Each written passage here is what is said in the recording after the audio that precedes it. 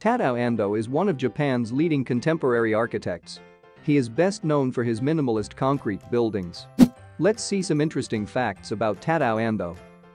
Before jump into video please subscribe and follow us on Instagram. Fact Box. Tadao Ando is a Japanese self-taught architect. He doesn't have an actual degree. Ando was a professional boxer at the age of 17. Tadao Ando didn't have great grades in school to get into architecture as a course. Hence, he borrowed discarded architecture books from his seniors and managed to learn within one year what everyone else studied in five years. He did not intern with any architects because he was constantly fired for stubbornness and temper.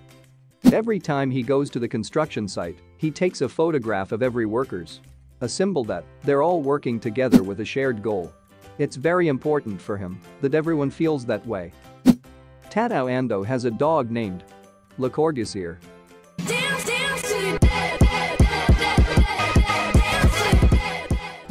Ando initiated the Momokaki Orphans Fund in 1995 to gather donations for the education of the children who lost their families to the Great Earthquake and Tsunami. Tadao Ando has twin brother, born minutes before him. His grandmother taught him to be adamant about his beliefs as long as there was logic in them.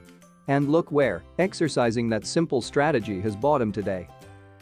Pritzker winner in 1995. Thanks for watching this video. If you like please subscribe and follow us on Instagram.